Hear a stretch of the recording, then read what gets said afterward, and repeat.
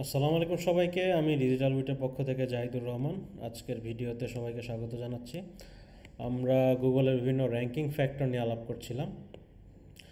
So আজকের প্রথম point হচ্ছে position of links from separate C class IPs Links from separate IP addresses suggest a wider breadth of sites linking to you, which can help the ranking.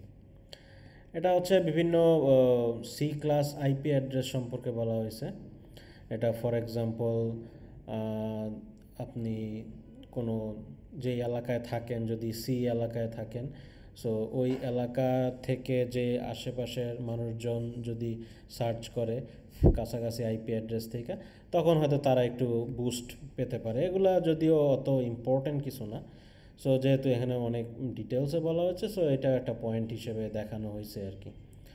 So আপনারা চাইলে এই লেখাটা এখানে পড়ে নিতে পারেন। তো সি সি ক্লাস আইপির মধ্যে যদি কোনো স্প্যামি সাইট থাকে, সেটা আবার খারাপ এফেক্ট ফেলবে। তো এরকম আর কি। তো সি ক্লাস আইপি অ্যাড্রেস এগুলোর সাথে লিঙ্ক করা থাকলে সেটাও একটা র্যাঙ্কিং ফ্যাক্টর হিসেবে কাজ করতে পারে। এরপর হচ্ছে পজিশন অফ লিঙ্কিং পেজেস আপনি যেই ওয়েবসাইট বা যেই পেজগুলো থেকে ব্যাকলিঙ্ক নিচ্ছেন টোটাল নাম্বার কতগুলো পেজের সাথে আপনি লিঙ্ক করছেন, সেটাও একটা র্যাঙ্কিংয়ের ক্ষেত্রে ইম্প্যাক্ট রাখতে পারে।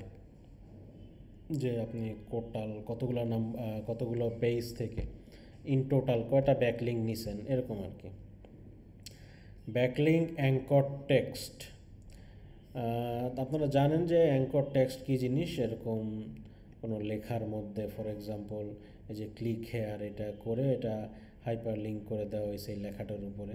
সো এই লেখাটার, এই লেখাটা হচ্ছে এই যে ক্লিকেবল টেক্সট যে জিনিসটা, সেই ক্লিকেবল টেক্সটটাকে হলো অ্যাঙ্কর টেক্সট বলা হয়।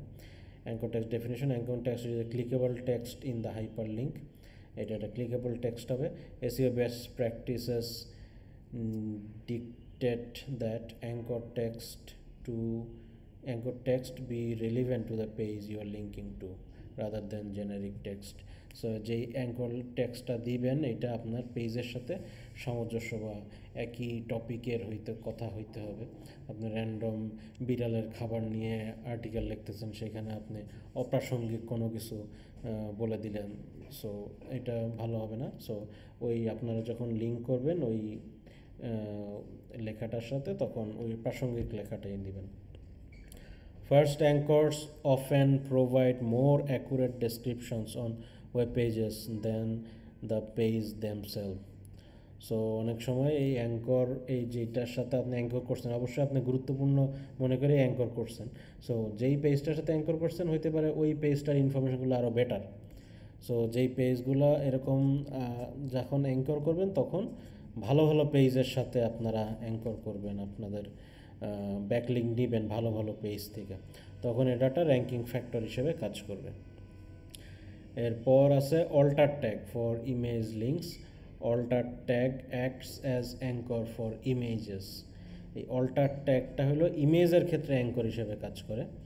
অল্টার ট্যাগ আশা করি আপনারা জানেন ইমেজের তো একটা নাম থাকে ইমেজের যেটা নেম এর ভিতরে হচ্ছে ইমেজের আরও ডেসক্রিপশন দেওয়ার অপশন থাকে।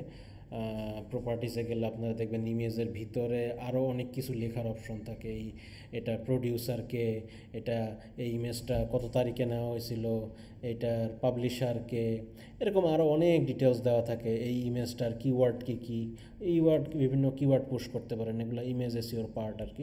ইমেজের ভিতরে আপনি কিওয়ার্ড পুশ করতে পারেন। সো এগুলা সো এই অল্টার টেক্সটটা হচ্ছে ইমেজের ক্ষেত্রে অ্যাঙ্কর হিসেবে কাজ করে। সো ইমেজের অল্টার টেক্সট থাকতে হয়, না হলে ওই ইমেজটা সহজে তো র্যাঙ্ক করবে না কারণ গুগল জানবেই না এটা কী সম্পর্কে। অল্টার টেক্সট হচ্ছে এই অল্টারনেটিভ টেক্সট লেখা হয়, বা অল্টারনেটিভ ট্যাগ অল্টার ট্যাগ বা অল্টারনেটিভ ট্যাগ দেওয়া হয়। ওই ইমেজের ভিতরে আপনি অল্টারনেটিভ ট্যাগগুলা প্লেস করতে পারবেন। সো এই অল্টারনেটিভ ট্যাগগুলা থাকলে সেটা ইমেজের ক্ষেত্রে র্যাঙ্কিং করতে সুবিধা হবে। পরের পয়েন্টটা হচ্ছে links from dot edu or dot gov domains so Matt Katz had stated that TLD top level domain doesn't factor into sites important.